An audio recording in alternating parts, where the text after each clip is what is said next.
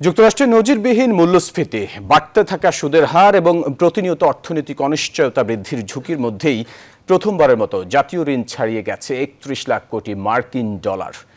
গেল সোমবার দেশটির সরকারি ঋণের বকেয়া একত্রিশ লাখ দশ হাজার কোটি মার্কিন ডলারে পৌঁছায় বলে মঙ্গলবার তথ্য দিয়েছে মার্কিন অর্থ মন্ত্রণালয়।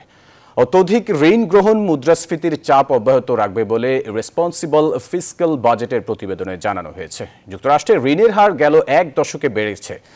দুই হাজার নয় সালে প্রেসিডেন্ট বারাক ওবামার আমলে মার্কিন বকেয়া সরকারের ঋণ ছিল দশ লাখ ষাট হাজার কোটি মার্কিন ডলার আর দুই হাজার সতেরো সালে ডোনাল্ড ট্রাম্পের শাসন আমলে ছিল উনিশ লাখ নব্বই হাজার কোটি মার্কিন ডলার।